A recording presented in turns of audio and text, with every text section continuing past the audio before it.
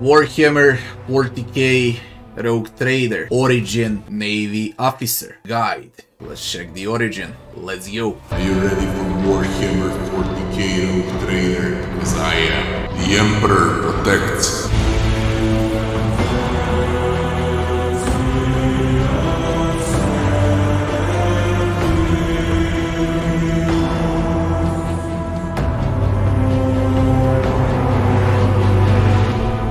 What is the Navy officer? The main role is a support, ranged support, ballistics support, but basically this is an all-around Origin Rogue Trader.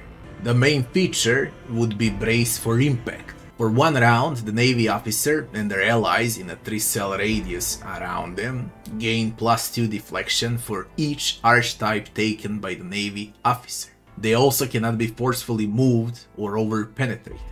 Archetype is basically a class, so the higher the level, the stronger the brace for impact is.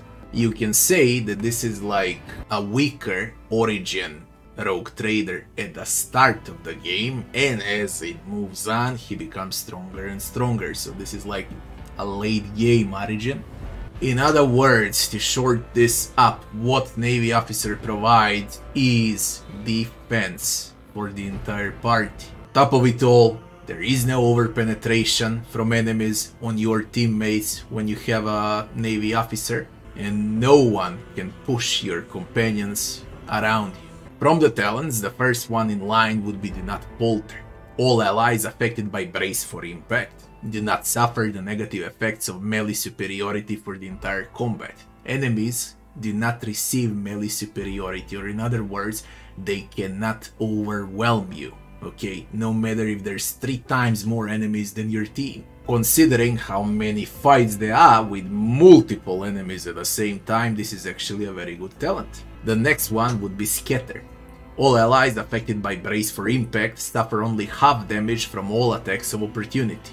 If you're gonna move and pass through enemies, then yeah, they receiving half damage from attacks of opportunity is useful, okay, but basically if you know how to position, this is a useless talent.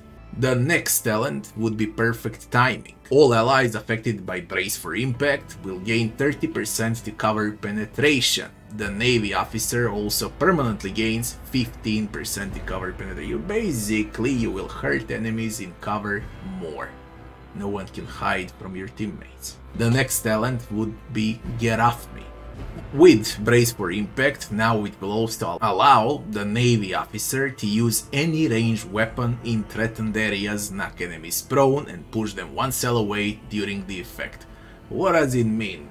Basically you push them from full cover and they're in the open now and you realize you have higher hit chance against them very useful talent to be honest. And the last talent would be getting to cover. All allies affected by Brace for Impact gain a bonus turn with 0 action points and 3 movement points and they increase their cover efficiency by 20% for a round. It's a movement ability, okay? You click on an ally and if they're in the open, 3 movement points, you put them into half cover, full cover, okay? So they avoid damage if they can. Useful, getting to cover is quite useful talent.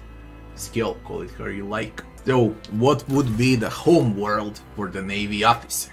The best one to take by far would be Imperial World, all around, because Navy officer is also all around, okay? Also, what merges very well, if you want to deal damage, would be the Fortress World, and, of course, if you plan to play a Navy officer as a full support, then you're gonna go with a Hive World for your home world.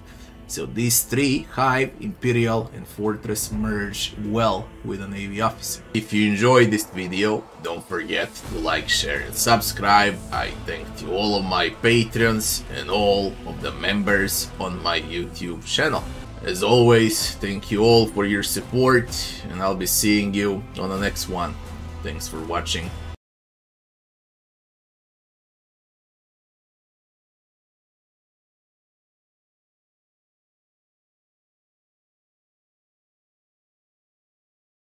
Ready for Warhammer 40k Rogue Trader? As I am. The Emperor protects.